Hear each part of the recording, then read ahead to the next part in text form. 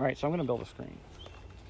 I need a screen for the compost and I'm using quarter inch hold screen, a 10 foot sheet. I couldn't get it actually any shorter. I don't need 10 feet, but I'll use it for something else the rest of it. And then I'm gonna measure from this side to this side and get it exactly. And then I'm gonna build a wood frame for it, staple it down to it, and voila, we have a compost screener.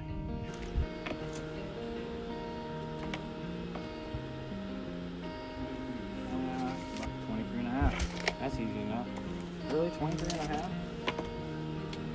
Alright. I'm down.